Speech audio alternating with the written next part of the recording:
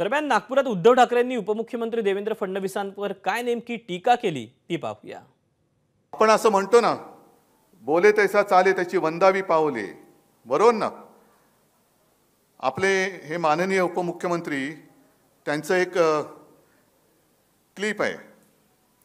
ती तुम्हाला मी ऐकवतो.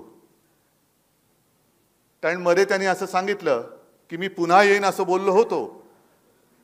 पण मी एकटा नाही आलो. दोन जणांना घेऊन आलो. पण ते दोन जण कोण आहेत? एनसीपीशी राष्ट्रवादी काँग्रेसची युती होणं शक्यच नाही. नाही नाही. नाही आपत धर्म नाही शाश्वत धर्म नाही कुठलाही धर्म नाही. एक वेळ रिकामे राहू एक वेळ सत्तेशिवाय राहू एक वेळ मला कोणीतरी विचारलं तुमचा विवाह होणार आहे का? मी म्हटलं अविवाहित राहणं पसंत